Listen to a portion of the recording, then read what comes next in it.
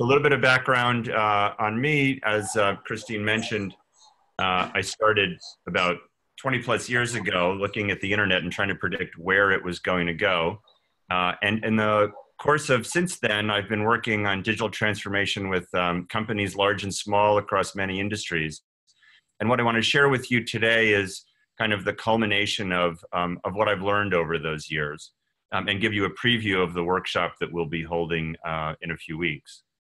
Um, and really, what I want to focus on is kind of three things. Um, one is what I find consistently coming up for executives and leaders is first, how can we see the future more clearly? With things changing so rapidly, it's hard to, to see even a few months um, into the future, let alone uh, a few years to kind of do our planning. So, I want to help you see the underlying trends to see the future more clearly. I also want to help you understand how you can seize better opportunities and bigger opportunities. You know, the incremental, the tactical is always uh, right available to us, but how do we think about bigger opportunities? And along with that, how can we let go of the past? Um, this is as much as anything the challenge today is, is that we've been doing things a certain way for so long and we need to find new ways, which means letting go of the old ways. Now, I would say my first major epiphany was back when I was working on my PhD, looking at the internet and realizing that it really was a fundamentally new medium that was going to change everything we think about organization, society, value creation. But I would say my second epiphany came about six years ago when I started Shift Thinking, and I realized that all of my work on transformation was focusing on what people should do differently. You know, I was looking at the best practices and that whole model, and that instead, what we have to do is start with how we think. And that to transform what we do, we first have to transform how we think. And you can see the missing piece here because just think about how many meetings you're in where an issue comes up and everyone starts talking about what to do differently. And how often do you actually stop and ask yourself, well, how should we be thinking about this problem? And what I want to give you for the next 20 minutes or so are some new ways of thinking. We'll go into more depth at the workshop, but at least give you an overview of what I mean by a, a new way of thinking. And when you think about these approaches, I want you to look at it through the lens of unlearning. So it's not just information that you're going to add to what you already know, but instead, it's really a new mental model that requires um, rethinking the way you've already done things. And you can think about that like, uh, depending on what country, um, uh, where you are, you know, if you came to the US, or when um, this was a picture I took in London when I went there. You know, when you drive on the other side of the road, it's as much about unlearning the way you're familiar with as it is about learning the new way. And that's really the, the world we're in now. It's kind of as if things got flipped around. And one of the key shifts here is moving from the incremental to the exponential. And digital transformation starts with some kind of exponential technology but then what happens is, is we put incremental thinking on top of that technology. And when you do that, you get incremental results. And instead, what we need is exponential thinking. And that's what gives us the exponential results. And I can prove this to you um, by looking at Wikipedia. And most, uh, you probably, you all know Wikipedia. You probably don't know what Wikipedia was before it was Wikipedia. And I don't mean Encyclopedia Britannica or Encarta or something like that. So Jimmy Wales, the founder of Wikipedia, had something called Nupedia.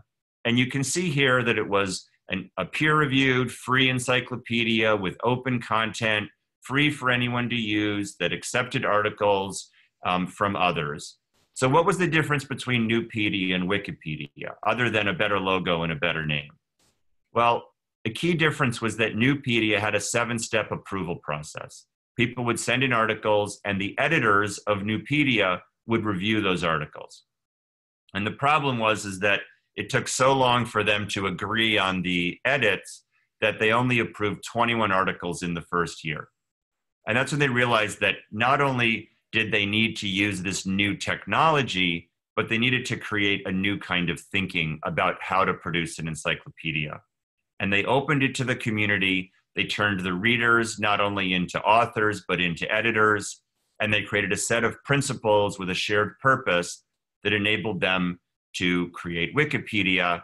And there were 18,000 articles posted in its first year. So it was the new thinking on top of the new technology that really enabled them to create the exponential change. Now, as we think about transformation, my experience is that resistance is uh, that change, we often think about people being resistance to change. And the resistance is not as bad as you think it is. So when you go into a change effort, you always expect resistance.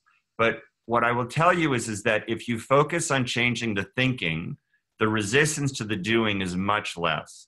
And the reason is that we hang on to old models until new ones appear within reach.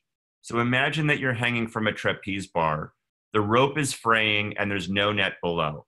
You will hang on to that trapeze bar as long as you can until there's a new one that appears within reach.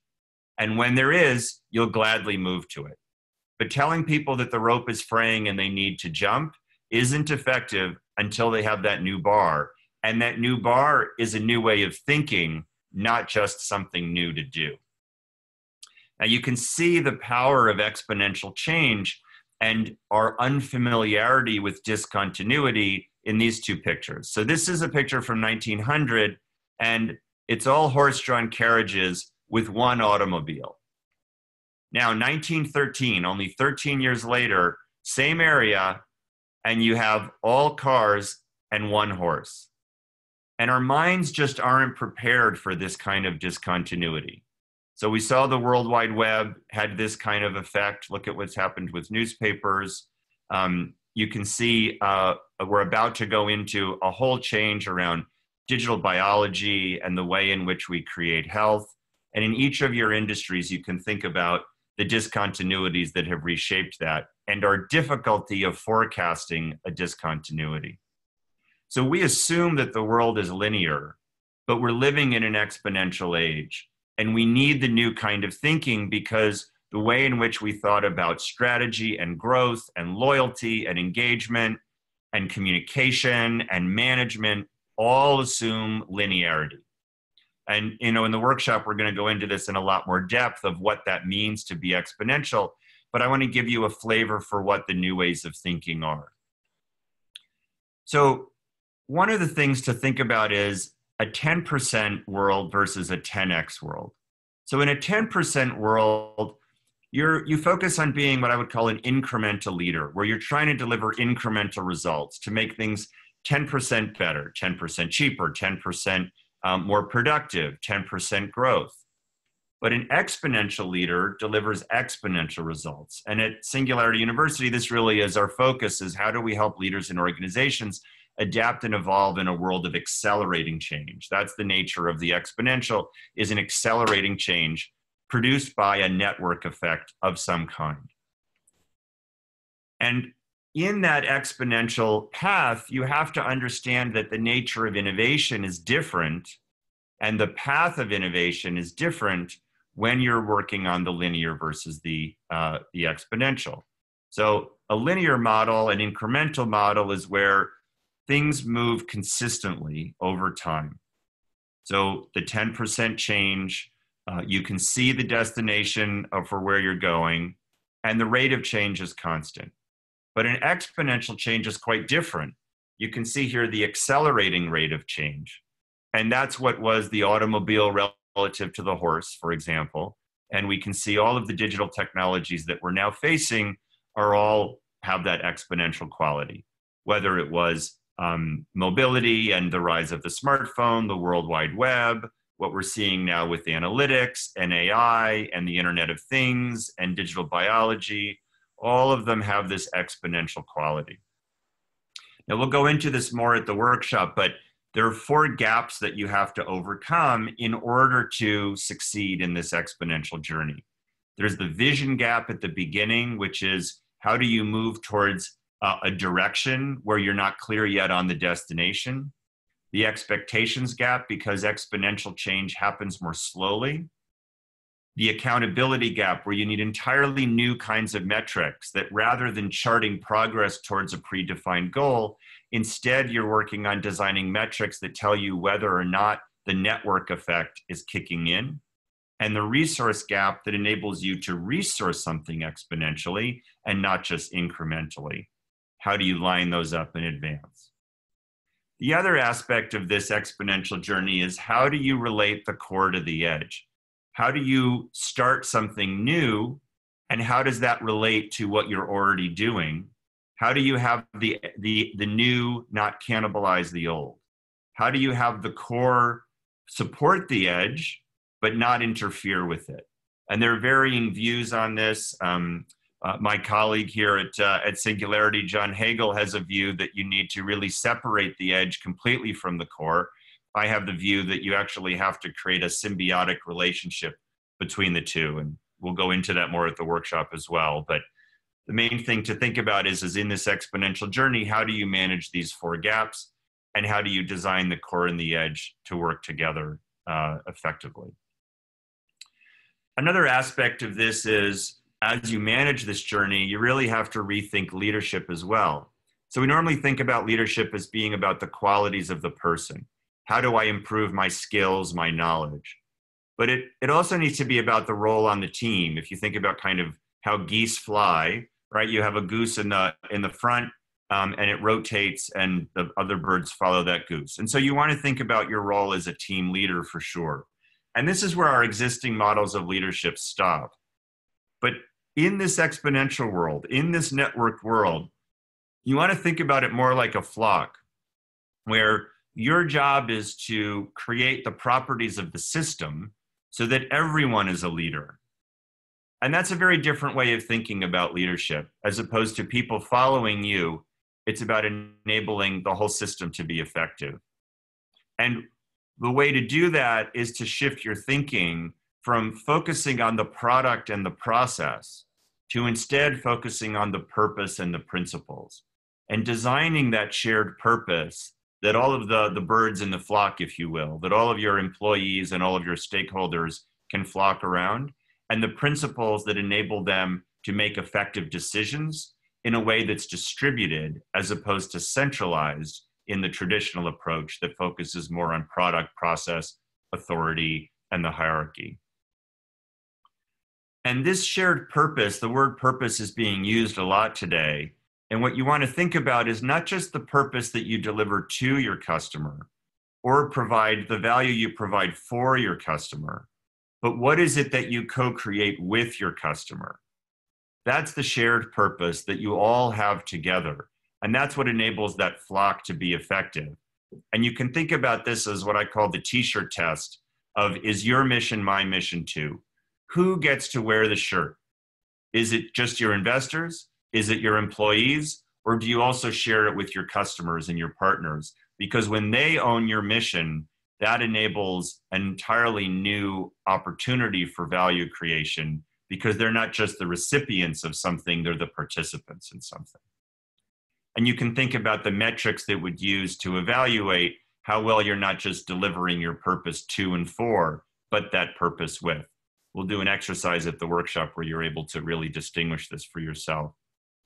You also want it to trace back to your brand DNA, and this is a way that you align the core with the edge. You want to be sure that that edge is still consistent with the DNA of who you are that doesn't change. And going back to your founder story and the problem that the company was originally designed to, to solve is a great way of figuring out what that DNA is and aligning that with the shared purpose. So I want to um, kind of uh, take a look here at a few of the multipliers, and then we're going to open it up for uh, for some questions, because these are the kind of the levers that you pull as an exponential leader in order to be effective, in order to create value. Um, the first is a platform. Uh, how you create 10x growth is by creating a platform mindset that connects supply and demand and enables others to create value. The use of a network accelerates speed by connecting resources and insight. The, a sense of community, not just an audience, but connecting to create peer exchange, creates more engagement. You can, in effect, see the Wikipedia example in all of these cases already of moving from just a process to produce an online encyclopedia to a platform to engage a network of authors, readers, and editors as a community that created a kind of orbit, which I'll talk about in a moment, with having a narrative of how that purpose is fulfilled and the doctrine or the principles that empower decision making. So I'm going to go through quickly over the next five minutes or so, just each of these as a, as a preview. And uh, as Christine said, we'll be covering these at the workshop, and there's also more on, on the website. I'll give you the link for at the end. So, very quickly around platforms, it's really about a different way of thinking. So, the pipe model is the old trapeze bar. We think about how we deliver value to others. Supply chain, that whole way of thinking is a one way linear model. Whereas a platform mindset is really about enabling others to create value. And so instead of just focusing on consumers, you're focusing on co-creators. And this was one of the key shifts for Wikipedia was moving from the pipe model of encyclopedia creation to a platform model. Now, the orbit idea is about disrupting the push mindset, the old trapeze bar of marketing and engagement, and you can see the linear thinking in the words that we tend to use here. So we segment the audience, we target them, we run campaigns, we move them through funnels, all very one way and linear. And even the idea of customer centric is about hitting this bullseye more accurately. Instead, we want to think not about a push model in which we build uh, build relationships to drive transactions, but instead a pull model where we embed the transactions inside the relationships. And we can think about this as this idea of a brand orbit where you have a shared purpose and you're pulling in all of your stakeholders into that orbit. And we've seen this by Apple, Google, Amazon in the beginning, but now you know retailers like um, Sephora are doing this very well. Um, and increasingly, what we see is not just a marketing campaign to push a message to drive the transaction, but an ongoing relationship that goes beyond the individual transactions. And particularly for any of you that are, whether you're in a retail or even in a B2B, um, the more that you can create that ongoing relationship where every interaction isn't monetized, it's that some of them are, and some of them are delivered by you or your partners to fulfill on that purpose. Two other, the last two multipliers, uh, and then hopefully um, you're uh, posing some questions in the chat, uh, is this idea of strategic narrative. This disrupts the existing, I call it the Hollywood model of storytelling, which is kind of this product or company as the hero in a hero's journey. Uh, instead, what we want is um, a narrative that does more than just say why uh, they should buy something from you, but it explains why they should have a relationship with you. And it's not just about the benefits that you get from a purchase, but a sense of identity of who that person will be if they have that relationship with you. This needs to go along with the platform and network in orbit. And again, we saw this with uh, Wikipedia, where you weren't just a reader or even an author, but an editor as well. So there was a shift in identity there. And then lastly, this idea of decision principles, or what the military calls doctrine, which is really designed at transcending this trade off between alignment and autonomy. So, normally today, we either have the alignment of the hierarchy that gets everyone to operate with consistency, or we have autonomy in which we can give everyone a decentralized, distributed um, decision making, but there's no alignment and people kind of go all over the place. And so people are really concerned with being either too rigid and not agile enough on one side, but then being chaotic um, by being too autonomous or decentralized. And so, what doctrine does, these decision principles, and uh, Wikipedia uses this, I'll show you in a moment. Google is very effective in this, and increasingly companies are using this as a way to foster agility. Is that you have your mission goals and strategy, which tell you where to go.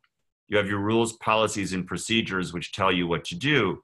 But the doctrine takes the place, in effect, of management, and it tells you how to decide. So instead of having to escalate the decision to the boss to make the decision, the doctrine empowers people to make the decision on their own. And we could see this with Wikipedia. These are the five principles or pillars that Wikipedia use in order to enable their community to flock effectively. And I'll just point out the fifth one that Wikipedia does not have firm rules is specifically designed to prevent it from collapsing into a kind of process and procedure or policy, but instead this is something that is collectively co-created by the uh, created by the community.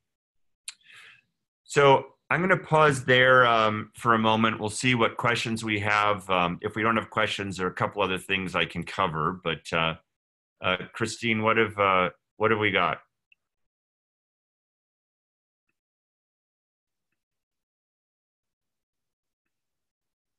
Oh, I can't hear you.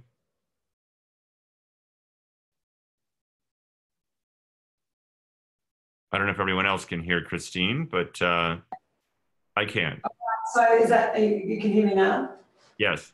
Okay, so at the moment, um, so some of the questions, they're not coming through at the moment, so we do encourage people to ask questions. I think probably there's a lot of content there that you've just given us that everyone's getting their head around. Yep. One of the things that I'd like to ask though is that when you were talking about how you embed uh, in transactions, you uh, you embed the transaction within the relationship. And then you said something about how it doesn't necessarily have to be uh, a monetary transaction. What are some of the other ways that you could embed a transaction in a relationship and it not be monetary?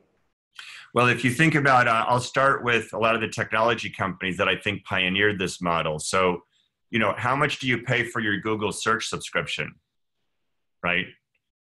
Right? You don't um, what does uh, Apple charge for its Genius Bar? What is Amazon charging for um, use of Alexa on the devices? So the technology companies have kind of figured out how you create all these different interactions, and then there are certain certain of those are monetized.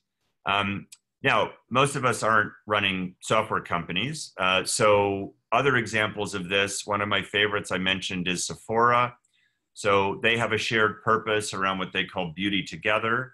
And what they've done very effectively is that although they monetize the sale of cosmetics, it's really about everything that goes into a shared purpose of what it's required for people to create beauty, not just use the cosmetics. And so they have all sorts of things that range from classes and instruction and videos on how to apply um, makeup um, they have uh, online communities where they enable people to share with each other tips on how to use um, the makeup and how they create certain looks. They've designed technology that enables you to see how the makeup will look in an augmented reality through a mobile app that measures the color of your skin. So there's a whole set of things that they do that are then monetized with the sale. Okay, now Mark, um, Mark has come forward, Mark Roach, saying, can you give some examples of how it works in a B2B environment? Yeah, so in a B2B environment, um, actually, I developed a kind of the orbit idea when I was working with some B2B companies because when you have um, a, a, particularly a large sale where there are multiple stakeholders in the company that have to sign off on it, you know, uh, typically, in a B2B setting, it's not just a single buyer. There are there may be one decision maker, but there are a lot of people who have to weigh in. So, one of the things that we did was we looked at what is it that could be done, could be provided to those other stakeholders that would enable them to help make the decision. So, one of those things um, that we did was this was uh, for a technology sale. So, they were targeting the CIO but what they did is, is they started to create tools that the CFO could use. So they weren't selling things to the CFO. Indirectly, they were. But what they were in effect selling was understanding. So they would create tools about how to evaluate a technology purchase that could be used for any technology purchase, not just theirs. Another one is when you look at kind of what constitutes thought leadership, too often it just becomes kind of the the white papers that are too clearly pushing the product as opposed to creating something that my test i call it intrinsic value. Is it useful to people whether or not they buy your product?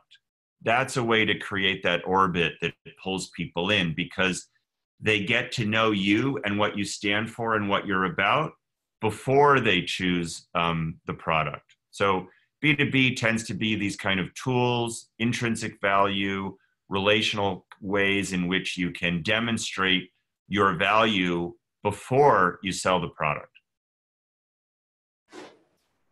Wonderful. Thanks very much for that, Mark. That's really helpful. Uh, so we're not getting any more questions. Did you want to mention anything before we round up the webinar? Um, well, I just, uh, uh, I think I just would, um, I would say that, uh, I don't know that we have time to go into the, the next piece. I'll save that for the workshop. Um, what I would say is, is that uh, kind of a little homework assignment I'll give to people is, um, I know I've covered a lot of ground. One of the things that I would say to start with on this is think about your unlearning agenda. As you start to go through kind of over the next week, um, just be in meetings and start to listen for where do people rush directly into what are we going to do? Where is it that you can tell that people kind of know that whatever it is they're proposing isn't quite enough, but they don't know what else to do? And where is it that there needs to be some unlearning where you can realize that the rope is fraying in effect? Where is it that in your business today you are operating from a pipe mindset, which is we have a product, we're going to go out and find the audience, we're going to find a way to persuade them to buy it, and then we're going to start over again and create loyalty as that kind of repeat transaction? Where is it that we're focused on, um, you know, dis- distributing decision making by granting authority to people, but they don't really have enough context to make effective decisions. Those are some areas that you can find your unlearning agenda, which is what would it mean if we were about empowering others to create value, where we were empowering others to make decisions, where we were creating these connections between customers or between partners or between stakeholders and just think where your existing business is operating more like Nupedia as opposed to Wikipedia. And what would a shift in thinking mean that would enable you to create value more exponentially? So I would just say to kind of just, it's one of these things where you'll be sitting in a meeting and something will catch you where you realize, wait a minute, I think that's what Mark was talking about. So hopefully that'll be a useful exercise for you.